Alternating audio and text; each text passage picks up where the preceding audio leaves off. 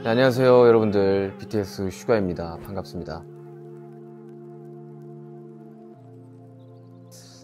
아무래도 저는 이 world tour를 끝내고 어, 광고 촬영이랑 또 간단한 이제 제 개인 컨텐츠들을 촬영하고 있는데 한동안 너무 바쁘다가 지금 조금 여유가 생기니까 삶이나 전반적인 패턴도 좀 많이 바뀌고 있는 것 같아요.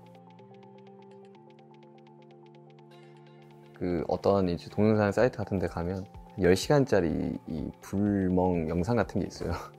이렇게 누워가지고 천장에 싸서 TV가 있긴 한데 방에 이렇게 누워서 보면 약간 각 자체가 약간 이렇게 고개가 이렇게 돼야 돼가지고 TV를 잘 안 보게 되다가 프리스타일은 이렇게 위로 쏘면 돼서 이렇게 누워서 이렇게 보게 되는 게 참 편하더라고요.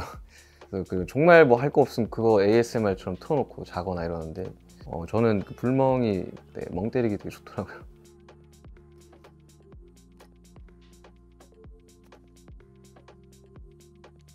계속 일만 해가지고요. 어, 좀 여행을 가고 싶다는 생각을 좀 했는데 아무래도 좀 야외에서 굉장히 빛을 발하는 어, 제품이더라고요. 사실 이 전원이 공급이 안 되면 보기가 좀 힘든데 이거는 이제 보조 배터리만으로도 가능하다 보니 요즘 이렇게 좀 잘 나오거든요. 그 캠핑용 스크린도 되게 잘 나와가지고 그렇게 사용하면 되게 좋지 않을까.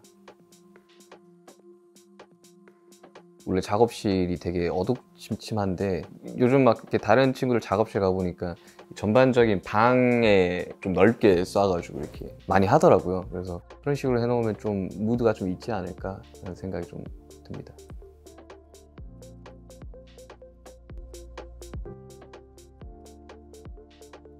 굉장히 아직까지 좀 덥거든요. 30도를 왔다 갔다 하는 것 같은데 곧 가을이 오니까 여러분들 굉장히 짧잖아요. 요즘 가을이 짧은 가을 어, 정말 재미나게 또 즐겁게 예, 보내셨으면 좋겠습니다.